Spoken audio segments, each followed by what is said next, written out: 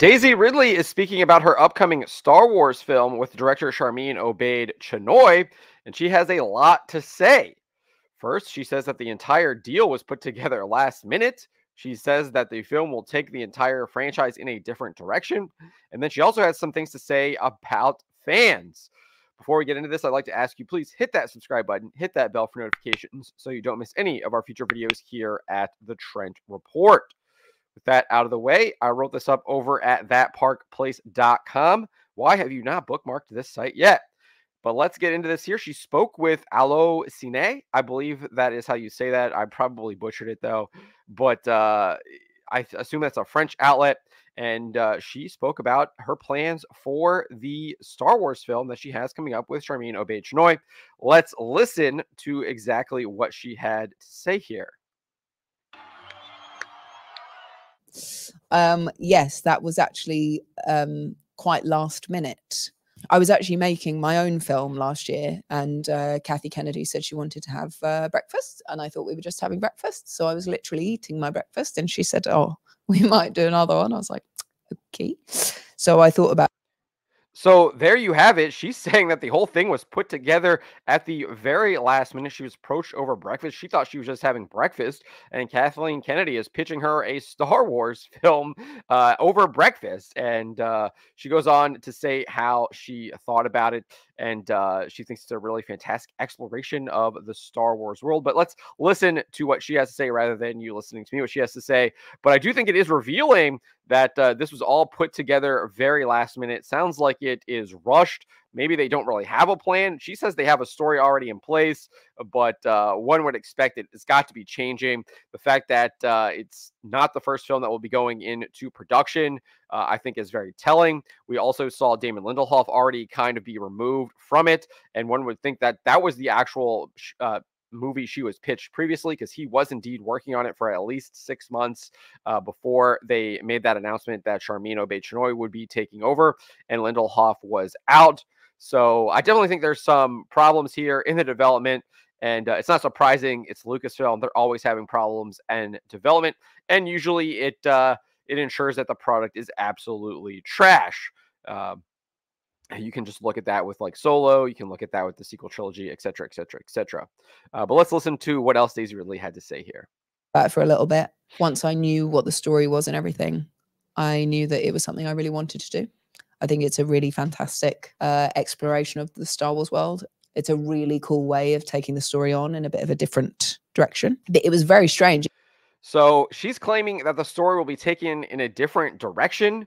Uh, based on everything we've seen from this film, that'll be taking 15 years after uh, the rise of Skywalker, and that she will be raising a Padawan or at least forming a Jedi Academy. It sounds like this is stuff that they've already done. They did this with Luke Skywalker in the expanded universe, and they're basically just aping a lot of that, giving it to Daisy Ridley to do, and having her replace Luke Skywalker as the character that does all this. And it continues basically what they did with uh, Daisy Ridley in The Rise of Skywalker, where she is all the Jedi, uh, etc., which was just absolutely cringe and stupid. Uh, so I, I have zero uh, hope for this film. I think this film is going to be an utter disaster. I'm not really sure who would be interested in this, uh, but she also went on and had some uh, things to say about about fans. Uh, she's specifically talking about her appearance at Star Wars Celebration. She says it was wonderful, and the thing about those conventions are everyone is really lovely, and everyone's really lovely to each other. And I think a lot of time people online sort of make out there is discourse or whatever it is that actually isn't shared by a lot of people and my experience has always been very welcomed. People have been very kind, even if they wanted the story to go here or there or everywhere. It's always a conversation that is respectful. So I I I think she is probably right. People are probably respectful at those conventions. You probably don't see a lot of uh, that stuff happening. I'm sure people are still uh, sharing their distaste for some of that stuff. I'm not sure how many of people uh, that would be sharing distaste of Disney Star Wars would be showing up at Disney Star Wars conventions anymore, though. Um, so, I, so maybe that is a reason for that. But uh, I definitely think people have expressed their distaste for the Disney Star Wars trilogies. I think that's abundantly clear. Uh, the big problem they have now is people are indeed just tuning out and they just don't even care about Star Wars anymore anymore. Uh, they're not even hate watching it. You can see that with the declines on uh, Disney Plus. We saw uh, Mandalorian Season three having declined from Mandalorian season two, we saw Ahsoka perform worse than Andor in their season finale, and those shows were coming out when uh, when they had more subscribers on Disney Plus, indicating they should have more people actually watching, but less people were indeed watching. You can see the declines in the Disney sequel trilogy at the box office returns for each film. Huge, huge declines, uh, film over film. And then obviously you can also look at ticket sales; those were down as well. And then you have the big, the big, the big one is Solo actually lost money for them uh, at the box office. So, and obviously that was a reaction, I think, a big reaction to The Last Jedi. No one wanted to go see what Disney was putting out after uh, The Last Jedi and what they did to the Star Wars franchise. But none of what Ridley has to say is really surprising. Uh, we've kind of uh, expected this. Uh, we had Kathleen Kennedy basically reveal to us uh, back last year, uh, I think in an interview post Star Wars Celebration, talking about how they were going to go in a different direction from what George Lucas created. She says, I think what's always great about Star Wars is it's a big galaxy, and we're coming off what was a major war with the First Order. And now Rey has made a promise to Luke, and that's really the core of where we're going and what this story will be.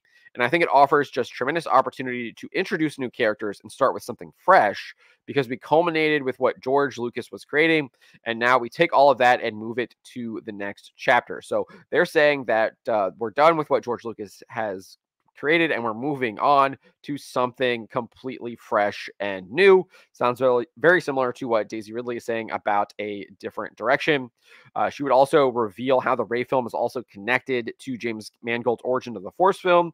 She says it was something that Jim Mangold immediately sparked to, and I think it's a really nice compliment to what we're doing with moving into the future with Rey and then understanding a bit more of where this all came from, because it will be at the heart of creating the new Jedi Order. So to get a real sense of where that might have began with the dawn of the Jedi could be a pretty cool.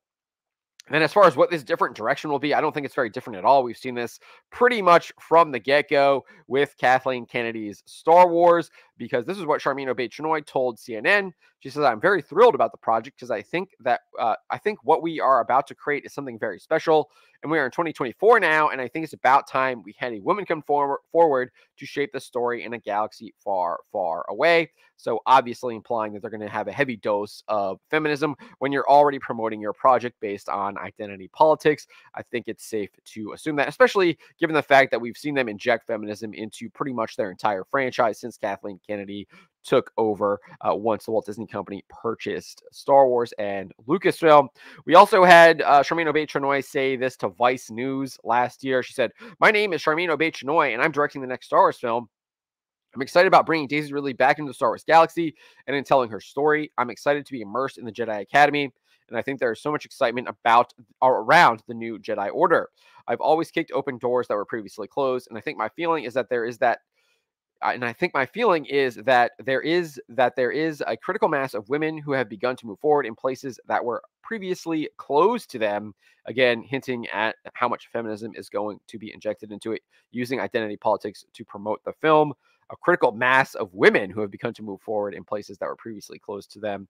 Uh, that is why she's excited about this film. It's just utterly ridiculous. It's not about, uh, I mean, I guess she talks about the story a little bit there, but then she immediately spins it into her identity politics. And then she said, and, and a few years ago, I began to think about what I wanted to do. Ms. Marvel was coming around, and I thought about a brown Muslim superhero and what impact she would have on the way young girls see themselves. So, obviously, about indoctrinating the future generations through the storytelling that she is doing. Uh, I think that's very abundantly clear there. And, and then she says, and you know, my filmmaking and storytelling has always been about championing heroes, men and women who really go through extraordinary circumstances to create a better tomorrow. Uh, I question what her better tomorrow is. That sounds all great and good until you find out that her better tomorrow is feminism, and that is not a better tomorrow. That is a worse tomorrow. So uh, I don't. I'm not hopeful for what Star Wars. I'm not hopeful for Star Wars' future, uh, at least with this Rey film. I don't think they have anything going for it. I think it will be a massive, massive flop. Prop maybe even worse than the Marvels film, which uh, hasn't even crossed the two hundred million dollar mark, despite having uh, a budget over two hundred and seventy four million that we know that is reported, and that doesn't even include the reshoots from twenty twenty three. So, uh, and what Daisy Ridley is saying here just kind of confirms everything we've already been hearing from Kathleen Kennedy, from Sharmeen Obaid-Chinoy, that this film is going to be an utter disaster. But those are my thoughts on the matter. Let me know what you guys think about this. What do you make of what Daisy Ridley had to say about the upcoming new Jedi Order film that she will be reprising her role as Rey in? Let me know in the comments below. And remember to always be charitable, but to always speak the truth.